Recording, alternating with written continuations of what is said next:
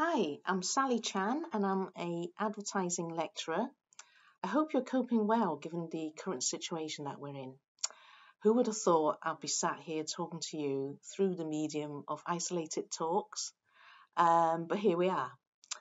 I wonder how you are surviving lockdown. Are you taking on new skills? Perhaps you're in the middle of learning online. Um, are you brushing up on your digital skills? Maybe starting a new hobby? Um, or even learning a new language. If you have children, um, perhaps you've been following some sort of keep fit routine, thanks to Joe Wicks. Um, or if you're homeschooling like I am, then then it's it's sort of maybe discovering lots of new stuff that you didn't know at school, um, including things like algebra. No idea what all that's about still. But anyway, if you're like me, perhaps you started Tai Chi um, I've started doing this online due to social distancing um, requirements. Um, and I have to say, this activity has actually single handedly, single handedly got me out of the rut that I was in for the last three weeks. Why? Well, I can say I can say a bit more about it because I've done it for three weeks. It's basically um, a Chinese form of martial arts. You probably know that already, but it teaches you basically how to slow right down, meditate, and control your thoughts and your breathing. Um, and it sort of allows you to sort of to keep in touch with nature as well. So I've been doing this for three weeks now, and I have to say, I'm already harnessing my inner chi, um, that powerful energy um, that we have in, inside of us. So we can bring good chi into your body, apparently, and lift out the um, and expel the the bad chi. So very, very good for balancing your sort of yin and your yang. Uh, so basically, I feel a bit more chilled. Uh, so I feel ready to do this talk with you. Um, until obviously, depending on what Boris is going to come up with um, in his uh, daily briefings. But anyway, this brings me uh, nicely to what I want to, to talk about. No prizes for guessing. It is about martial arts. So I've been doing probably, not sure if you can guess, but I've been a practitioner of um, karate for quite a while now. And I've really, really missed the um, the sort of contact element that this form of um, Japanese martial arts uh, provides when, when you when you're training. Now, before lockdown, my family and I would be training three three times a week um, at our local um, karate club with about 30 to 40 people. We have a sensei who's our instructor who we totally respect and you know and it's it's fantastic. We train with people of all ages, all shapes and sizes and all abilities. As with all sports, seriously addictive. Um, but most of all, it allows me, this is the great thing about it for me personally, I get to spar with people half my age, which is fantastic. So, you know, I am really that poster girl for um, hashtag, you know, fight like a girl. That's me. Um, now, although some elements of um, karate can be done um, on your own, uh, in your own space, in your own time, things like kata, which are like patterns that allows you to, to sort of, um, you know, go through the moves with an imaginary opponent. Um, it has been really hard to get back into it since lockdown, so I've really, really struggled um, so that's been something that I wasn't aware that I would struggle with, but I have. Anyway, I digress. So at this point, um, let me guess, I will have either piqued your uh, interest in martial arts or have put you to sleep. Now, as creatives or advertisers, you must be thinking, what's all this got to do with advertising? Well, martial arts is everywhere, isn't it? Um, you yourself or your family members or your children or what have you probably know people who do taekwondo, karate, or kung fu. So, yeah, you could say it's everywhere. Um, but it didn't really take off in Britain till the 1970s, really, um, when this character, Bruce Lee, came about.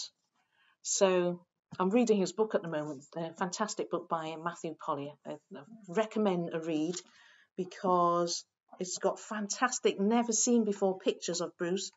in his um, youth and so on before he became famous, basically. And it talks about his his sort of um, family um, and his background, um, and you know, really really interesting historical overview. More about that later. So basically, you will uh, know that you know through his films like Fist of Fury, Enter the Dragon, and so on and so forth, um, has really you know had an influence on on British um, television in terms of our enjoyment of, of um, British TV and films and so on and so forth.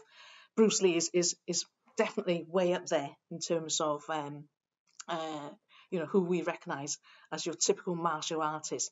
So these are the films from um, Hollywood, basically, and we also have in, in Britain, we have our equivalent of uh, the water margin. I don't know if anybody remembers the, the water margin. So this is actually a Japanese adaptation of a, a classic Chinese novel. Really worth, well worth having a look if, if you're not familiar with it. Um, it's well known for its really awful dubbing of um, the sort of actors because obviously speaking in sort of Japanese because for a Japanese audience and we'd sort of dubbed it in English but it's sort of like accented Oriental sort of um, yeah really bad dubbing. Got to, got to uh, have a look check that out if you're not aware of it. Then um, you've also got Monkey as well Monkey King um, writing a, a, paper about Monkey King um, and it's based on uh, Chinese folklore but again um, from Japanese um, television, which came into uh, Britain and became really, really popular. Um, and don't forget the legend that is Burt Kwouk and his infamous role as Kato uh, in the uh, the Pink Panther movies um, from I think the 1960s to around 1992. It went on for that long. It was that popular, and it really brought um, uh, martial arts comedy uh, to a wider audience. I'm really only scratching the surface there in terms of martial arts influence um, in films um, in, in Britain. Now, a bit about um, my upbringing. So, as a teenager growing up in Cardiff during the 1970s, these were the first images of Chinese or Oriental looking characters on, on television for me. So, whether I was ready or not, these imageries helped to shape my identity um, as a British born Chinese in Cardiff. Um, why? Well, um, basically, what I saw on TV had the power to affect not only how I saw myself, but also how others saw me. So, like all teenagers at the time, all I wanted to do was martial arts. We're talking about the 1970s and 80s here, you know. You got to have been in Cloud Cuckoo's Land, Cloud Cuckoo Land not to know um, how popular martial arts was. So yeah, it was really, really important that, and, and I was really, really wanting. I remember this real great need to want to learn martial arts because I really wanted to show people that I know more about martial arts than the, the Chinese burn. I think that people were, were doing in, in the playgrounds at, at the time, you know, school children. Um, however, what what am I really talking about? Am I digressing again? Mm, I'm heading towards what I want to be talking about, and that is basically about stereotypes in sort of TV and films and all these sorts of things. And when I did this talk earlier at the beginning, it would have been interesting to to figure out if people actually had a perception or a stereotype or formed an opinion of me before I actually spoke. And then within the first five minutes of hearing me speak, did that opinion then shift a little bit or, or what or did it get reinforced because I was talking about martial arts and so on and so forth? So I'm quite sort of um, big on things like stereotypes and diversity champion at, at work as well. So um, you know deal with a lot of these sort of cases um, related to uh, discrimination and sort of um, ensuring you know there's there's sort of fair play and so on and so forth um, at work and stuff. So stereotypes basically, according to Stuart Hall, who's the guru of um, representation, he said that stereotypes are basically where we place people into various different categories, or we're doing the reductionist approach where we reduce people to a few simple characteristics. This is coupled with over exaggeration of certain features or over simplifying um, our differences. All of these sort of stereotypes causes divisions, as, as we all know. Uh, causes divisions because it puts people into two camps those who are accepted um, and the other. The other are the ones who don't belong, basically. So that's basically what stereotyping is all about. It's giving you a bit of a, uh, a, an insight into that. But for advertising, like its moving um, image um, uh, cousin in film, uh, also has the power uh, to influence people too. Because, you know, as I trawl through a, a myriad of TV ads as part of my research, um, you will find martial arts, so kung fu, karate, judo, and their sort of variants. They're recurrent themes actually in British television advertising. Now, when I delved into the archives, this goes as far back as the 1960s. Um, and it was during its 1970s heyday that um, the theme was used a lot more. So you can see martial arts um, representation or, or its use in um, alcohol advertising, for example. So you've got uh, Guinness in 1968. Then, I mean, who can forget the um, the notorious Hai Karate aftershave in 1973? Then you've got um, in the 1980s the increasing popularity of martial arts in Britain, which led to its vast use uh, on TV adverts. So you've got things, examples like um, Golden Wonders Kung Fu another personal favourite, 1974. You've got Wall's uh, Sausages, I believe that's a Collett uh, Dickenson uh, Pearce um, uh, undertaking, and then you've got uh, you've got Pizza Hut in 94 and Super Noodles 98 and so on and so forth. I can go on. I can go on for for hours.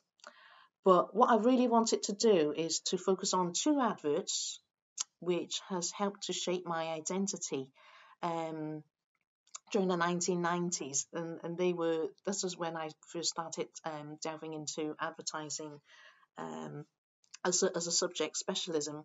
And you know, as you as you sort of look around for examples, these were the ones that really stood out for me. So the first one is Levi's 501, uh, Kung Fu uh, TV commercial in 1997, which was uh, directed by Jonathan Glazer for BBH London.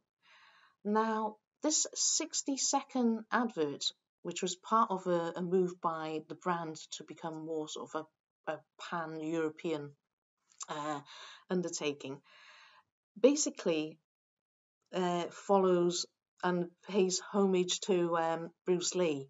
And it basically features a Vietnamese American actor uh, or model called Justin Nguyen, who is the, the hero.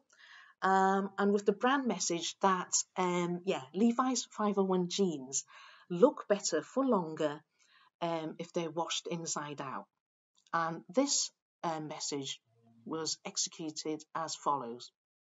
Using his um, spectacular kung fu skills, um, our hero, or Bruce Lee lookalike hero, escapes from baddies in a Chinese restaurant in San Francisco's Chinatown. Now, the action will then climax uh, in a Chinese laundry where the hero uh, throws the villain through the door, then steps coolly, and I mean really coolly, um, inside the laundrette to be confronted by a very beautiful Oriental heroine. She stops loading the washing machine or doing whatever she was doing because it's a Chinese laundry um, and gazes adoringly at our hero. He then, what he does is uses special kung fu action to quickly turn the pair of jeans that she was holding from her hands inside out um, and hands them back to her before leaping out of the window, obviously shattering the window in the process. Um, and then is then faced with the villains, and the film sort of freezes to a, um, a closing shot uh, of our hero, our Bruce Lee character, and the end line is, yeah, Levi's 501 jeans best washed inside out. fantastic, fantastic. The second advert, which also made had a great um, you know importance um, in terms of what what I'm talking about here, is a another 60 second television commercial, and in this case, it's the the Volkswagen's self defense 1998 advert uh, for BMP DDB by Ringen Led, Ledwidge. Uh, basically features a large group of what appears to be martial arts students practicing their moves with um, an instructor in eerie silence. Uh, they seem to be in a in a like a dojo or a training hall. Um, so they're, they're basically shown. This is in total silence, by the way, and it sort of makes you stop what you're doing in your tracks and go, was that a television commercial that came on? Because I didn't hear anything. Um, when it was very a lot of very very busy commercials around that time in the 1990s, um, and basically they're following the uh, instructors' movements. So various different types of students following the um, instructor, and what you will get to see as the scene moves on is that they're actually following the movements of what you would do if you were going to get into your Volkswagen car, putting your gear stick, uh, using your gear stick, and then you're sort of checking your rear view um, mirror, fastening your seatbelt with the end line self defense by Polo. Now, the advert actually won the, the Silver Lion uh, Cannes in 1999. So, these two adverts they're testament, I think, to the creative revolution of British advertising uh, at the time, um, as well as the influence of martial arts films in popular culture.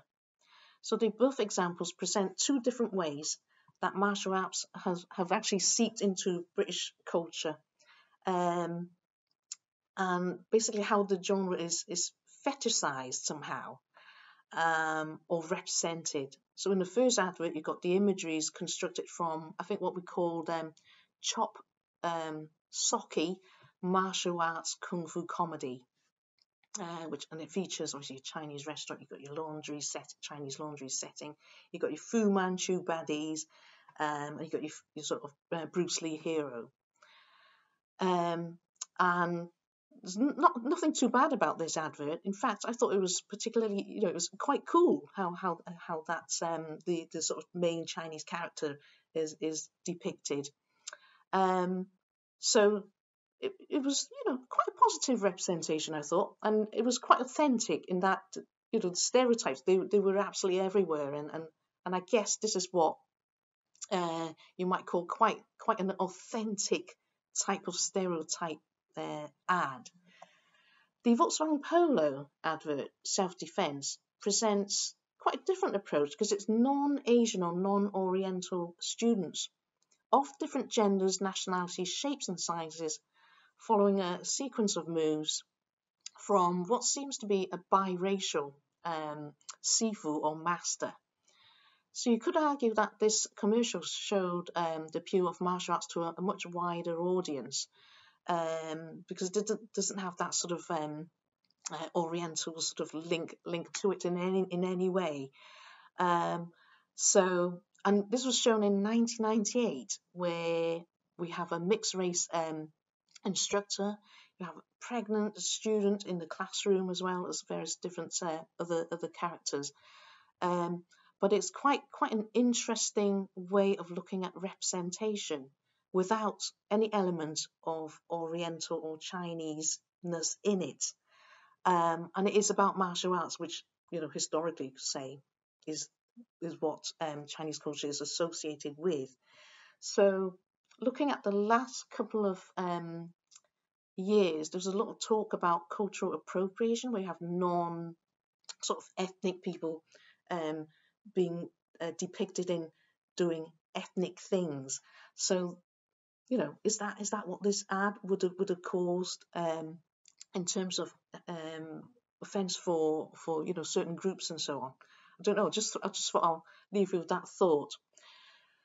So what what, um, am I wanting to um, highlight is um, I think cultural understanding and awareness um, really really important, and looking at cultural understanding and awareness from a historical point of view as well because we're looking at things like representational um, factors and how represent, representation is formed and where do they, you know, how these have been shaped by these sort of historical events. Um, and we, we, we also say how representation is now, uh, in the last couple of years, have been sort of linked to appropriation as well. So that's sort of, you need to sort of keep a track of what, how these sort of terminologies are changing and what's led to all these different sort of um, changes and of, of emphasis as well. So knowing all of these will help, I think, us with knowing our moral compass so that we don't obviously fall foul of the um, the Ad- Advertising Standards Authority for causing offence to, to others. Um, but the real fact remains, you know, in Britain, 8 million black, Asian, and minority ethnic BAME population are underrepresented in advertising campaigns. Why is that? Um, and is that something that the, the profession could, could do a lot more? Um, to try and reflect a bit more of a diverse um, population because the population is diverse and why isn't it sort of diverse in, in its representation so I think a lot more um, research needs to be done and, and you know a lot more questioning need, needs to be dealt with I think part of the problem is the fact that we feel uncomfortable talking about race, um, discrimination, stereotypes, all those sort of things we feel quite weighed down by because there's a lot of uh, negativity associated with them. It's a very emotive subject when people talk, talk about race, um, discrimination, and what have you. But it doesn't mean that we shouldn't talk about them because by having a platform in which to share our ideas, that's when we can think about making changes. I do understand there's lots going on, lots of initiatives going on uh, within the creative industries to try and change that. Um, but also, we can make it fun too. You know, it doesn't have to be quite a negative, heavy, you know, such a heavy going thing for, for us to consider. If we look back at um, martial arts representation on, on television, uh, we're looking at things like social learning, really. And to a certain extent, discrimination and stereotypes is about looking at the impacts of social learning as well. Because when you're a youngster, impressionable um, being, um, as a teenager, like I was in the 1980s, you know, you might think about mimicking or imitating your, your heroes that or your role models that, that you see on, on television. Uh, you know, looking at the way they behave, imitating the way they speak, and so on and so forth. Um, and basically how we are depicted, the way we are depicted, or the way we see others like ourselves, being shown um, in in popular media and so on, really does affect the way we sort of, you know, are, relate how we relate to others, because we start to question: Is this our social reality? So basically, I asked myself, can all Chinese people do kung fu then? Because that's all I can see on television and it's all over the adverts. So that must be true then. So if you're a youngster and you're forming your identities, these become very important questions for, for you to think about. So the lack of imagery of representation of people like yourself that you that you cannot see on TV can, you know, be be quite an important thing when, when you're when you're quite young um, and it, it's character formation. You know, really affects you know who who you become later on. So on British uh, television um, during the 1970s and 80s, um, when these adverts, martial arts advertising became very very popular, there were hardly any um, Chinese people that you could see on on television. So that means looking at the context that these sorts of very little images that you see have greater representational power. Um, the other thing to note is that advertising is apparently supposed to mirror cultures and society and reflect what is real. Um, but then advertising, you know, does it re- really do that, or is it actually distorting reality um, and only containing certain grains of truth about what is actually being represented? So, you know, have advertisers given enough thought about the consequences of their work uh, on others, on the other. Um, ads are supposed to reflect trends. You know, it's supposed to you're supposed to pick up on things that are topical right now, and in doing so, I've missed out on certain things about you know the fact that the ads are actually mirroring the real society, uh, what depicting what is actually real um, that is going on right now. Or we sort of cherry picking certain bits that we want to represent because it's politically correct or because it's going to you know get us the um, the awards and so on. So we need to be mindful of um, exoticizing others um, in the creative work that we do. So we need to question our assumptions, the assumptions that we make um, of others, and also get to grips and know your history, guys. It's really getting to grips and know your colonial history because, you know, Britain had a, a great colonial past and we need to talk about that. We need to know what, what led to this, you know, diverse uh, culture that, that we have now. Um, it needs to be in our history lessons, really. Um, and if not, if they're not in our history lessons, go out and research it, read about it. I mean, the Bruce Lee book here has the first section, the first chapter is all about the history, and it's all about the colonial history, which I found absolutely fascinating. Why Bruce's um, family left uh, China to to then sort of set up base in uh, San Francisco and so on and so forth. So all these things um, are definitely linked. They certainly have, have an influence. Because look at the colonial history give us clues about um, the historical past, looks at what sort of things are important to different uh, communities in society. Um, and some might argue that surely creativity is all about having novel ideas, something that's distinctive, and it's about looking always forward looking. Um, however, you cannot move forward and devise brilliant commercial art forms if we totally misunderstand um, the core of our society and how societal changes occurred in the past, because these have helped to shape communities as they are now. So, you know, that's really, really important. So, whilst race and immigration are really, really sensitive topics to discuss and uh, difficult to navigate for some, um, I know because I've had to deal with it in, in my day job as well. But uh, we should not basically adopt any sort of moral muteness pretend it doesn't exist, or moral myopia, not being able to see clearly the impacts of our creative work on the other. So sorry, I got a bit deep there. There are some clues though, I'll lighten up a bit. Um, there are some clues that the ad profession um, regularly draw inspiration from martial arts ideology and philosophy. I wonder why that is. So Wayne Deakin at uh, AKQA London quoted Bruce Lee. Um, I'll use that fantastic uh, quote uh, here. Basically, saying that um, Bruce Lee has mastered various skills because Bruce Lee is famous for not just doing kung fu or jeet kune do, which is he formed his own particular style, but he borrowed from taekwondo and karate and so on and so forth as well. So he didn't stick to uh, one style of martial arts.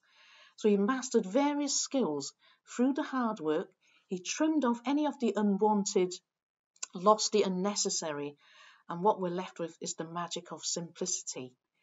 Um, and he said that Lee's contribution to advertising is similar to what uh, Bill Bernbach of DDB uh, his contribution have been, where creatives focus on refining the idea to be singular, pointed, and immediately relevant to our target audience helping our next generation of creatives to be focused. I thought that's a really good one to sort of slot in there somehow. So maybe actually there are a lot more kung fu fighting advertisers out there than I first thought. I shall end there. I hope you enjoyed this talk. I digressed a little bit. I think it's taken you on a bit of a journey, um, but I hope you've enjoyed it and it's given you some things to think about, um, some things to ponder over as we enter the, the new normal. I'm always happy to share ideas and talk, so please get in touch um, if you need to, even if it's to ask about what form of martial arts um, you should get into. So take care and stay safe, everyone. And um, yeah, see you around.